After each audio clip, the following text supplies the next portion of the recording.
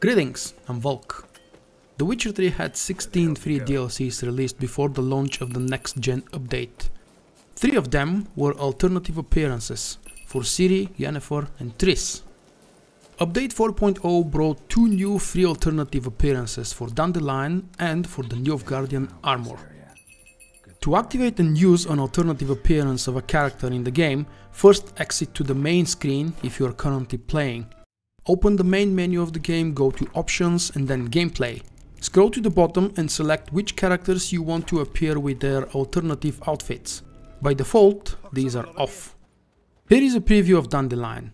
If you ask me, this looks like a totally different character now. He's now wearing clothes inspired by the bard Jaskier from the TV show The Witcher, which is actually Dandelion's original Polish name, so it's the same character. And he's also clean shaven.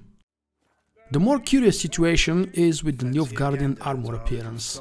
The developers added the ugly black thing from the first season of the show as new alternative appearance.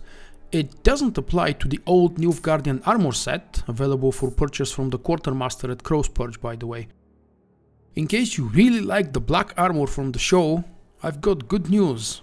You can dress up in the Nilfgaardian armor mentioned earlier, go to the bottom right corner of Velen and visit the House of Respite. Keep in mind that the guards may not let you in if you wear something else.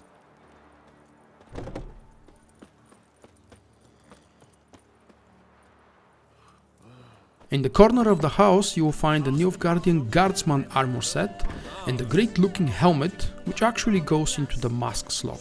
Now this armor set does change its appearance depending on how you have the Nilfgaardian alternative appearance options set in the main menu. Enjoy! Thanks for watching, bye bye.